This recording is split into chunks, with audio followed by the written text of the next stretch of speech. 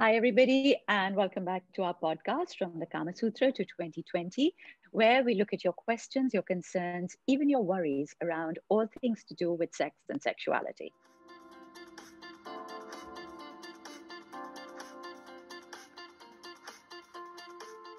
As always, we have with us Dr. Anvita Madan Bahel.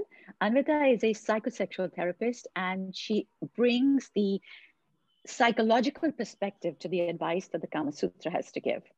But along with her today, we also have a very special guest. We have Sharif Rangnekar with us. Sharif um, is the director for the very first queer and inclusive Lit Fest in India, the Rainbow Literature Festival.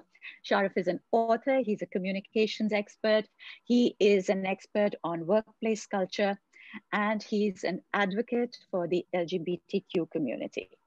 Welcome, Sharif. Welcome, Anvita. Thank you, Seema, and welcome here. to our podcast this week. Thank you. Thank you for having me. It's great to be here. Um, Sharif, today we have a question that um, came in to us last week, and it actually brought a tear to our eyes. I mean, it actually made me cry a little bit. And I felt that we really, really needed you on this panel to deal with this. So the question was from a young gay man who said that not only is he looking for help and support in trying to come out and in basically trying to live his new life as a gay person, but the fact that he is trying to deal with fear and self hatred based around this new identity of his every single day. And we realized Anvita does a lot of work on homosexuality. I am a huge advocate for um, the, the uh, you know, for basically um, all sorts of sexual orientations. But I have to say that this kind of put a whole new light on something because even though we are there trying to be as supportive as possible, you realize that this is a journey that has far deeper layers and needs a whole different type of support. And I know that it's something that you touched upon in your book, which is called From Straight to Normal, where you talk about facing self uh, hatred, facing the fear, facing your depression about being gay. Yes, Seema, it's, uh, you know, uh, sometimes you feel uh, so much has changed uh, you know, from the time I came out, which was 1999, but I was 30 years old when I came out. Uh, yeah, you feel that a lot may have changed, you know, given that that was over 20 years ago. And then you hear these kind of stories, uh, you hear it from various people, uh, you know, the people who want to end their lives. Um, you know, there isn't a there isn't a specific answer to this or but I, I i feel that today people are better off in terms of accessing information accessing support groups etc but i'll just come to a point what what does someone really go through in a situation like this? Everything around you is heterosexual or heteronormative or hetero dominated when you look around and you see tv and you see romantic films, you know, so to say, it's always a heterosexual couple. When you look up your parents, they're obviously a heterosexual couple. When you look at the press and they tell you, you know, stories of love, it's again that. So you go to school, people talk about, you know, uh, boys talk about the girls they like, the girls talk about the boys who are looking at them or who they like. So there isn't a space for you. I mean, you just don't seem to fit in anywhere and that leads to just so much of self-doubt. You know at one hand you want to accept that you're different. On the other hand you feel that that difference is completely out of place. It has absolutely uh, no dignity whatsoever in society because no one talks about it. There is if the people talk about it by and large you hear jokes where you're the butt of the joke. When you've seen caricaturization in cinema you seem again to be some kind of uh, thing or uh, person to mock at, to laugh at. There isn't any status, there isn't any dignity, you know, there's no self respect. In a situation like that, it is it's only a few who can completely shut that whole world out and be themselves. And even if they can, I know it during the pandemic as well, during the lockdown, that many people who went through this kind of self doubt, hate towards themselves, isolated in rooms because they have just come out to their parents and the parents hadn't accepted them.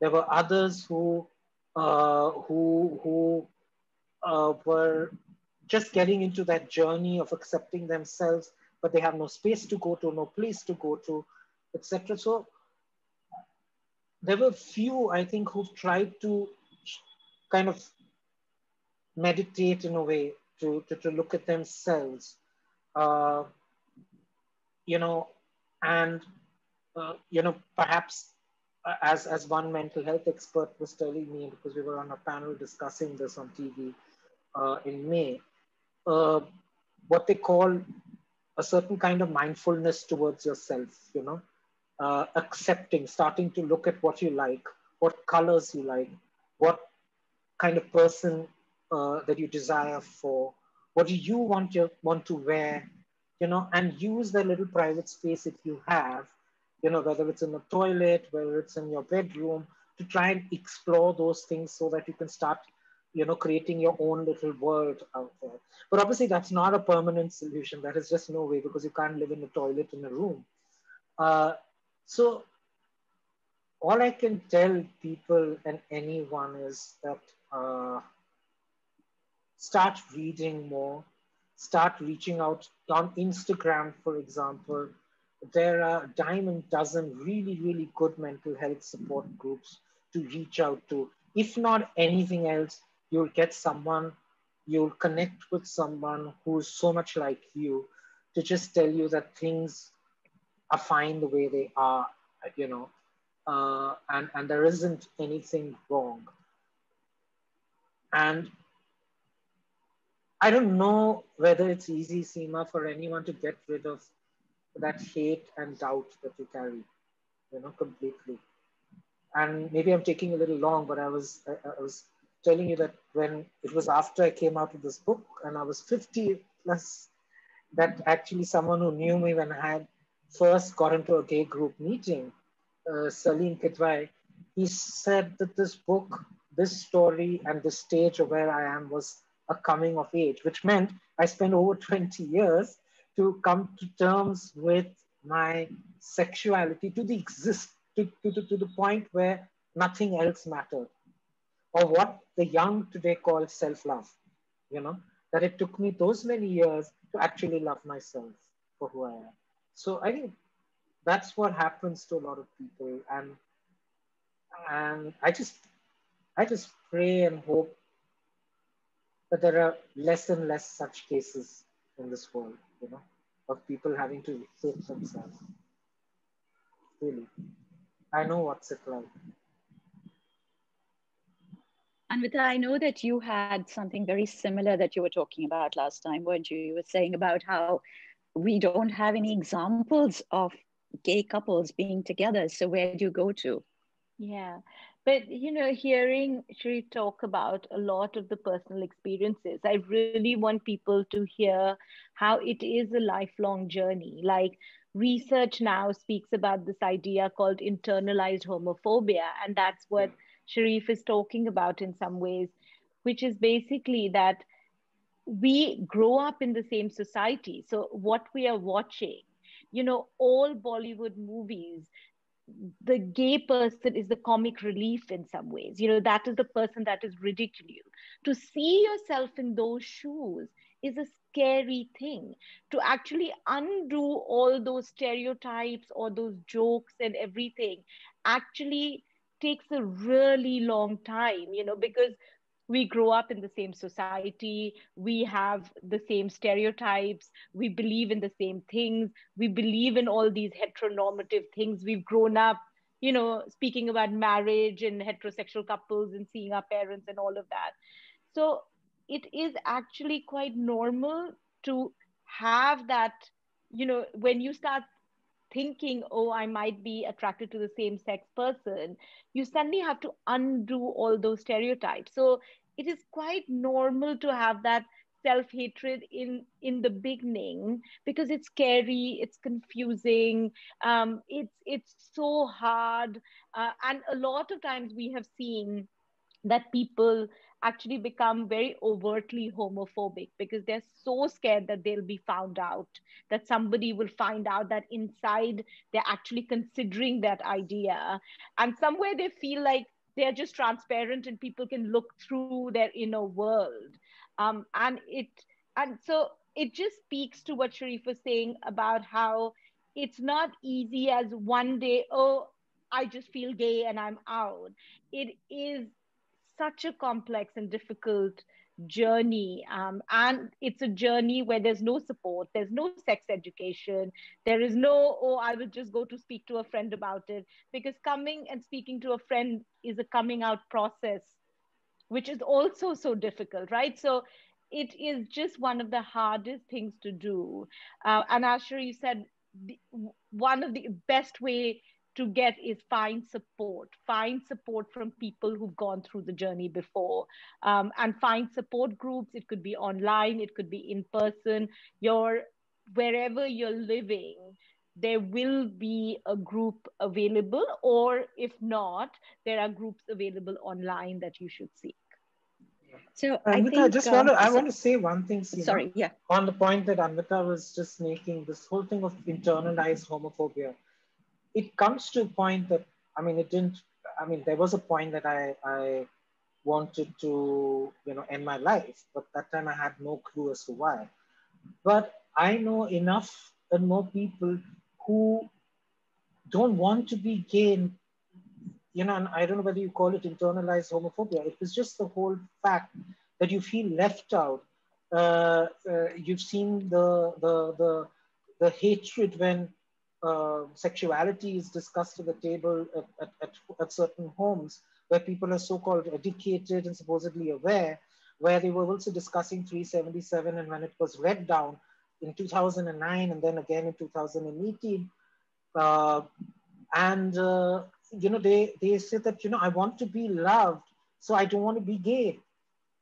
I, I, I, want, I want to be like my brother, like my sister, like my cousin who are heterosexual the, you, you have people, the, the, the fear is so high that you actually don't want to be yourself anymore because you, you, you don't want to face that violence. You don't want to be uh, hated. You don't, you don't want uh, your parents uh, to differentiate and, you know, uh, uh, kind of not love you, you know, you, that, that's what people go through.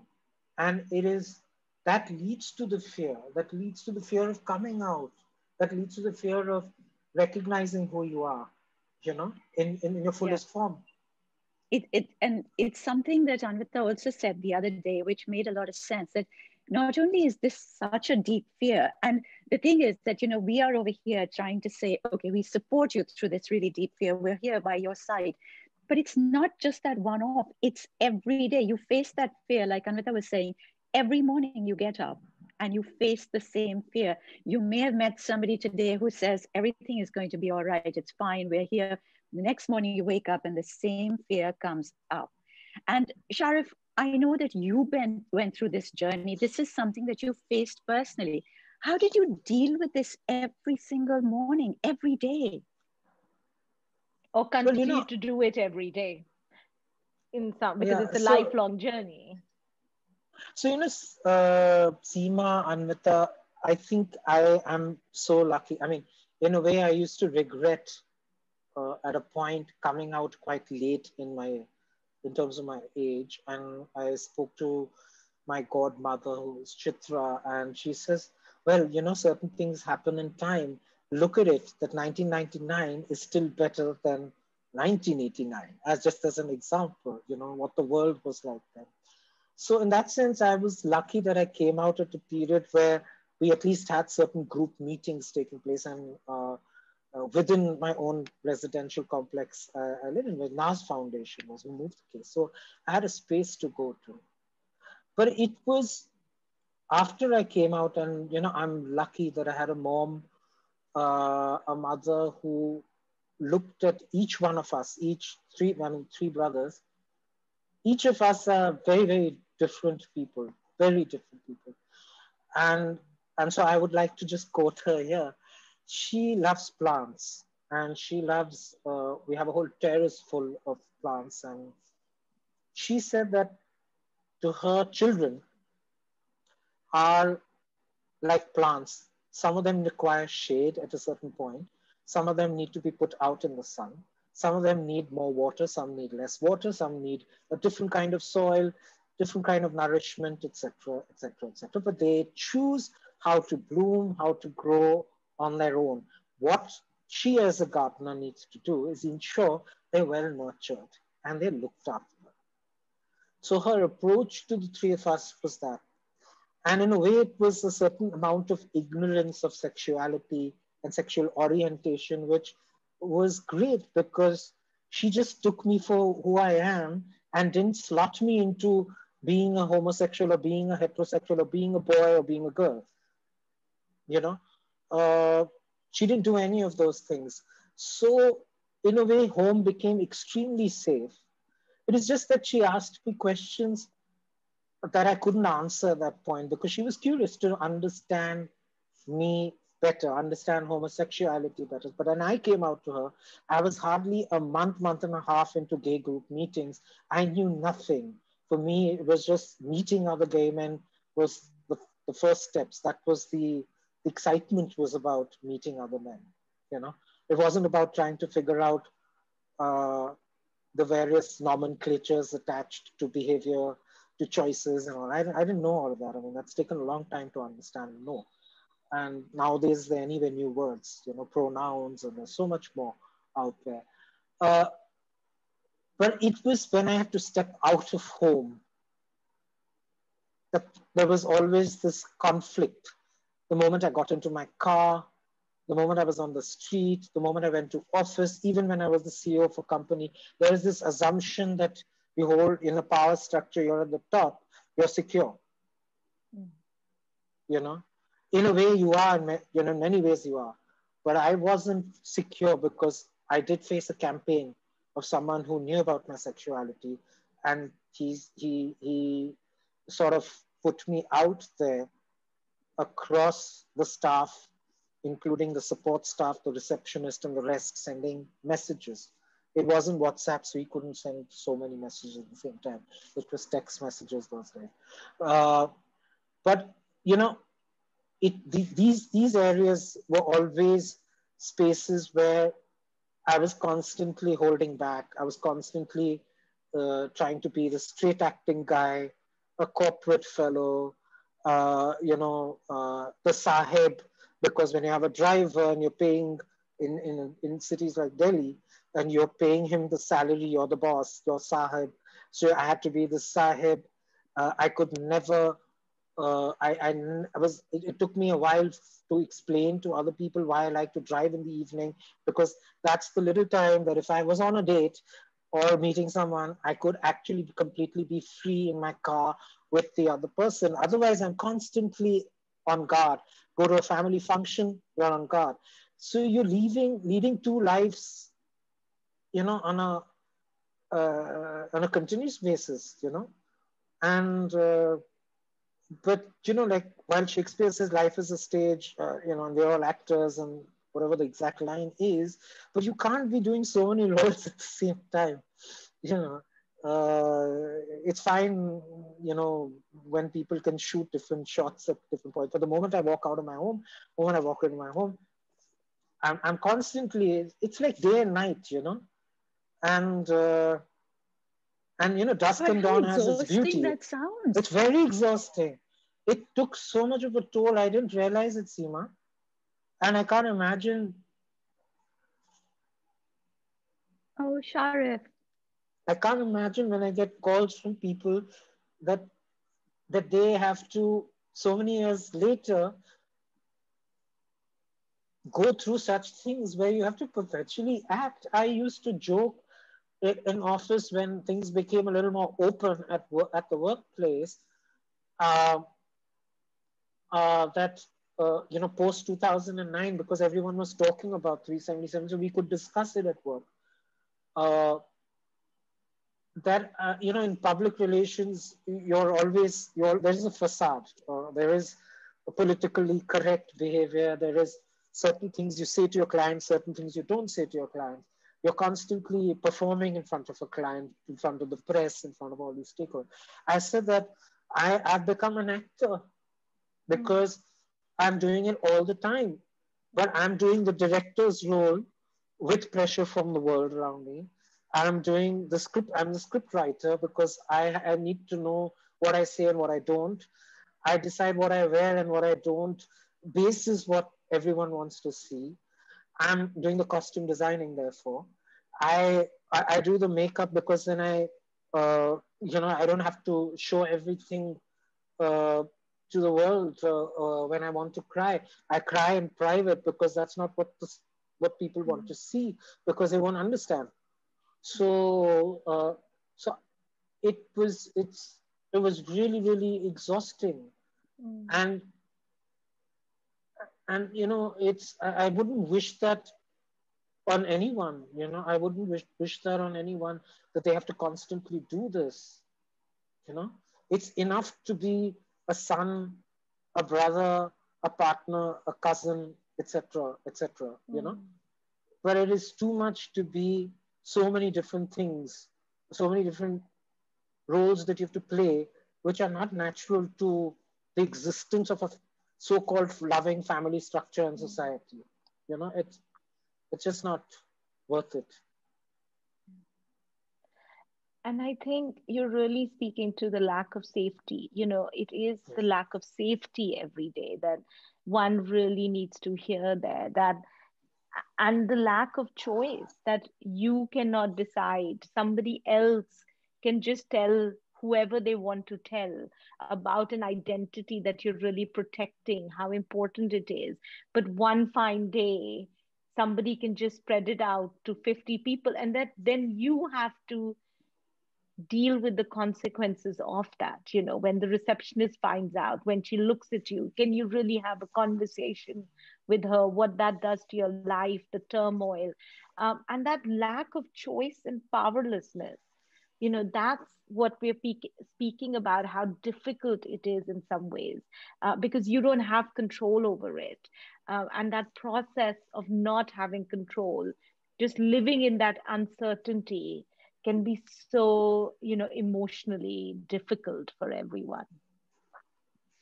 Yeah and anvita i mean you know like uh, there are many cases even today where uh, I, I met this young professional who was uh, attached to one of the consulting big consulting firms and he was placed with a public sector undertaking company where everything was masculine. The team he was engaging with a typical alpha male lot of people. And he went through so much trauma. And he was based in Chandigarh that he traveled down to uh, an event in Bangalore organized by Pride Circle for the LGBTQ job fair, something that we would never have heard of until the last year, two years. And he met me, my hair standing up, and he started howling. He had never seen, he had never been to a conference where there was sexuality and safety, or as you just said, safety was being discussed so that you could, in cliched language, say, you bring your whole self to the workplace. But it's really being your whole self, right? And letting yourself just, as my mom would say, let, let it bloom, you know? Whatever color it might be, whichever way the leaves might be, whichever color the leaves may be, you know? uh, he howled and howled and howled. And and he he couldn't believe that there could be this kind of world as well. He just couldn't believe it. You know, he's fortunately he's moved to another place, and he's very very happy there. But again, uh, he was lucky to have that information. There isn't enough out there, far from enough out there for people to to you know know that they can turn to certain places, certain organizations, certain other, you know, to just feel comfortable. So I think what I would like to ask over here is that do you have any suggestions of groups that people can access? So you talk about the LGBTQ job fair. I didn't know about that. I think that's amazing. Is that something that happens on an annual basis? Is it in every city? Is it in one place? Where can you find information on that? So there is, the, as far as this one goes, the first edition was actually in July 2019 in Bangalore. They came to Delhi last year, Feb, actually just a few days, a few weeks before the lockdown. They were really lucky. And there were over 1,000 people sought, seeking jobs from the community, over 1,000. Because pent up, uh, yes. Uh, you know, demand as such, you know, but there uh, this year it will be online on May, I think, third and fourth or fourth, fifth. It's Pride Circle. Uh, people can find uh, that out. Now there are many other groups. Uh, for example, if you're trans, uh, there's the Mitra Trust, which is based in Delhi. It's run by Yusima. You met Rudrani, Rudrani yes. Chetri, who acted yes. in uh, the color, the last color. Rudrani runs that. It's it's the Mitra Trust. You can get a lot of help on uh, on issues of uh, transition, mental health, etc. She also runs a modeling agency because, as she says, even trans people, there's nothing unusual. I mean, even trans people want to be models. You know, like everyone wants to wear clothes and you know. And they like know that. how to do the best makeup. They actually yeah, know how perhaps. to do the best makeup so yeah but actually it's something that she said when we met when she talked about this she said most trans people identify themselves as women and it's the one thing the if they were woman, to dress yeah, as men yeah so if they were to dress as men nobody would probably even be able to see the difference. But because they like to dress as women um, that's when they become visible in this particular identity and this is where they're put down. So she said that this is about empowering them to say you know we will have a fashion show we have a modeling agency where they get to dress the way that they want to. And i just thought it was the most wow. amazing thing that she said. You know i yeah. absolutely love her for her work. So uh, what did you say that particular group is called again that's called the mitra trust the mitra trust the mitra, mitra trust yes okay. Yeah and so we will actually have, put that in the description on the um, on the video. Then obviously there is the Humsafar Trust, which is the oldest out of Bombay, and they have an office in Delhi.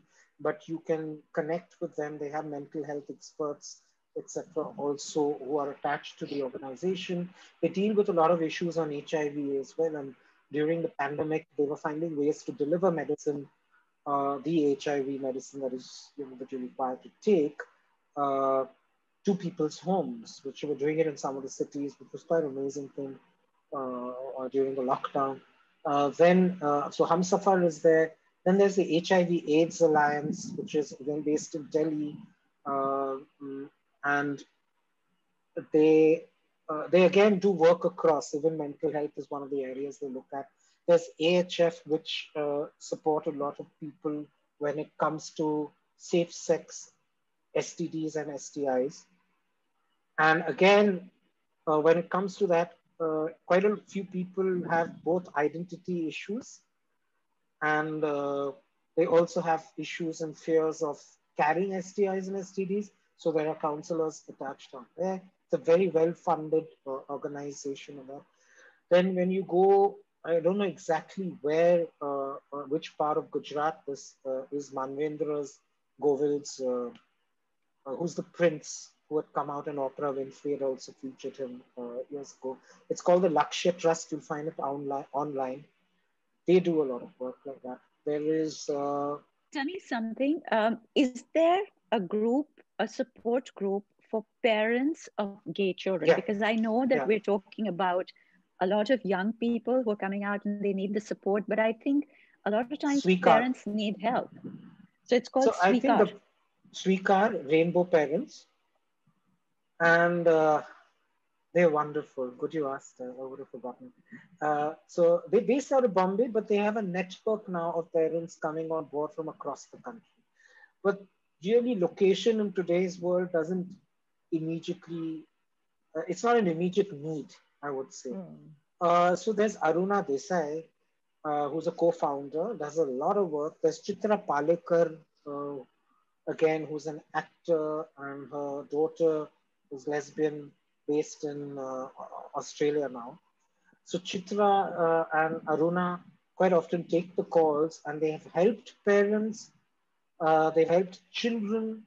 I know, at least in recent times, in the last four five months, that they've must have saved at least five or six kids and would have helped at least five or six parents as a result um, in, in dealing with the truth, for the parents to deal with the truth of their children, of, of, of who they are.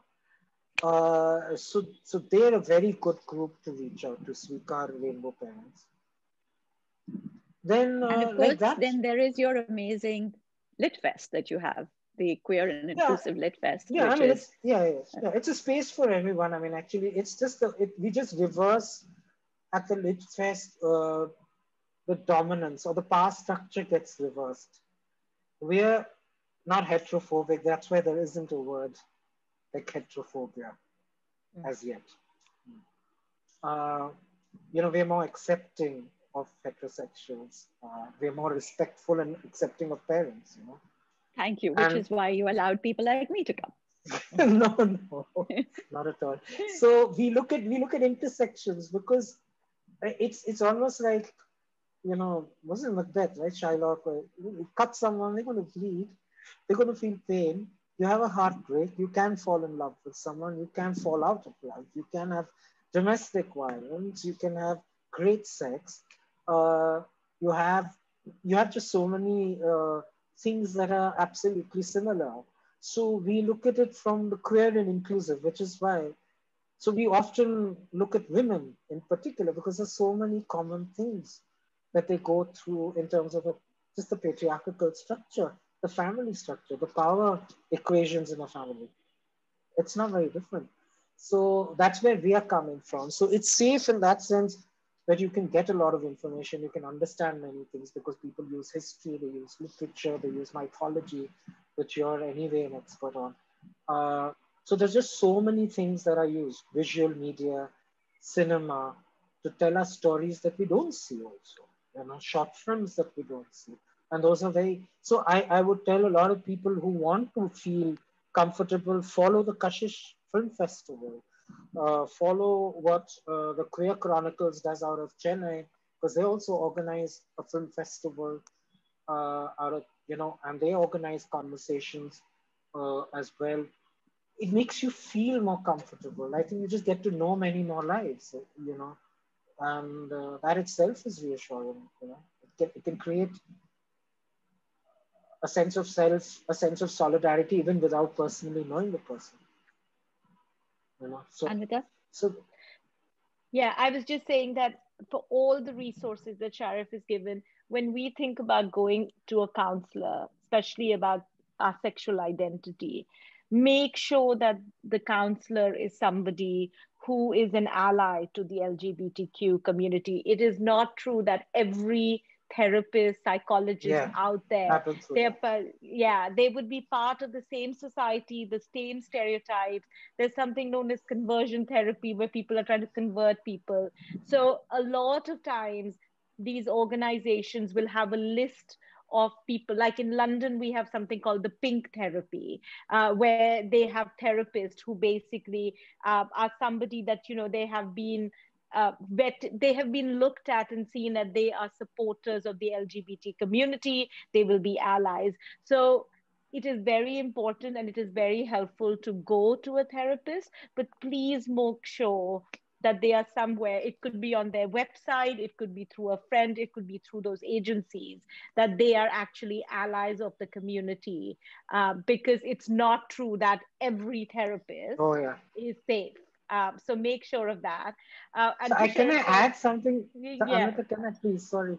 Uh, because, you know, I think also a lot of youngsters who are online and not youngsters, even I, I mean, okay, I'm young, but, uh, but even on Instagram, you just have to do LGBTQ mental health. You'll get a list of queer run mental health groups where they have queer affirmative uh, mental health experts. There are few heterosexual experts who also accepted as uh, uh, you know supportive or understanding. And i mean they see the whole rainbow. You know they don't see any problems with the rainbow. Also interestingly which something that can give us heart is not only what uh, the judge during the 377 order, uh, Indu Malhotra had said that history owes us an apology, but just a few days ago, last week, in Chennai, a lesbian couple was protected by the courts. The, the judge itself said that I'm getting over my preconceived notions and as assigned parents and the couple to go to for queer affirmative therapy for them to understand. Now, if I think let us these small little incidences and occasions are the ones which we can you know hold on to in terms of hope, and I think uh, that is why it's important for the more and more community to go into social media is largely safe. There are lists, there are organizations, there are groups also uh, which deal with other identities, but they're queer, like the Queer Muslim Project. Then people from the northeastern region, they have the Chinky Homo Project, they have Ya All, they have such groups which are dealing with the multiple identities because uh, a, a, person coming from, let's say, Manipur or uh, Nagaland or any of the seven sister states and they come to Delhi, they also face racism. They also become a minority from where they come from but it's added to their sexual identity, which becomes that much more heavy to deal with in terms of it. Same with the queer Muslim, same with all of this. So there's a lot out there, and people should make full use, you know, of it. That's yeah. that's the freedom I think we that's, have. Yeah. I think Yeah. that's really, really good advice. Anvita, did you want to give us a piece of advice just to um, bring the session to an end? no, I have no advice. I think we've heard such amazing things.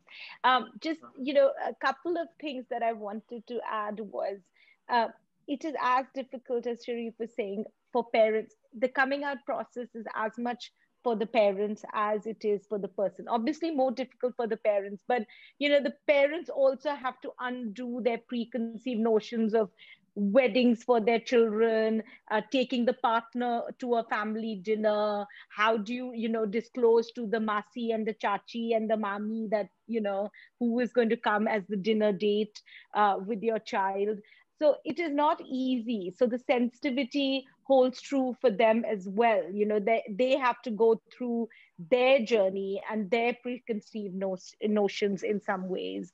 Um, so if we can support them as well uh, in some ways. Also the coming out is very difficult because we have to think about everything feels at risk. You know, Sharif spoke about your career might be at risk because people in office might accept you. Your religion might be at risk. You know, you grow up just because you're gay doesn't mean you're no longer Muslim or you don't believe yeah. In going to the mosque or you don't, um, you know, believe in your Allah or Islam or whatever. Uh, that might be at risk. Your favorite cousin might not want to be you know your favorite cousin any longer your parents might want to reject you your best friend might be awkward so how much is at risk at this coming out really and and how important is this identity the congruence of it that you are willing to risk all of it? You know i just if people could just understand how disconnected life feels uh, and you want that matching and you know like bringing your whole self in as sharif was saying um, and that is why you're willing to take the risk of upheaval of all these identities. And more and more people are accepting. There are a lot of religious groups that are accepting um, I, I know as in here and otherwise. So please do access those groups. Um, and finally um, I just want to say that uh, I had a funny story with when he was saying that if you are in the community and you are uh, you know thriving and surviving in the community. Sometimes we have stereotypes about our own community in some ways. The first time i read lesbian psychologies i thought no men there's going to be no domestic violence. It's going to be all pretty and oh, fine. Yeah. they're all women.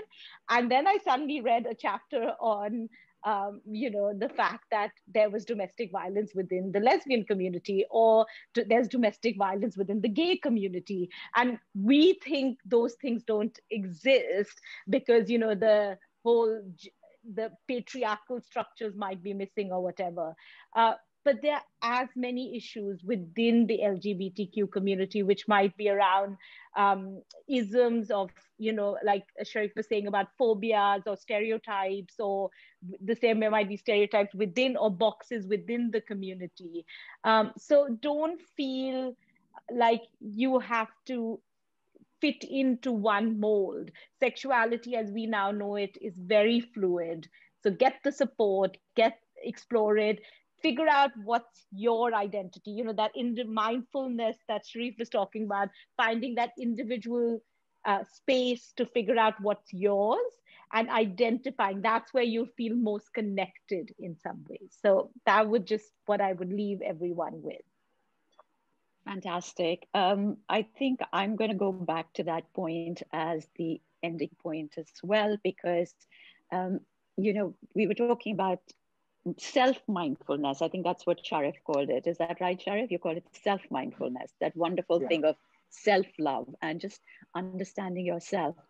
And as both Anvita and Sharif said at the beginning, that you know, everywhere you look, there isn't any kind of model to follow. There isn't any kind of gay love, gay couple uh, model that is put out for you in public to follow and say, this is what I will look up to everything out there is heteronormative and you are fighting battles just trying to find yourself. So what we suggest is that when you actually go into this idea of feeling really miserable and not understanding how you want to take this further, whether you want to accept this uh, this identity of yours, you know you are gay, but you don't know how to accept it. The best thing that you can do for yourself is just for a little bit of time every day, have a little fantasy time.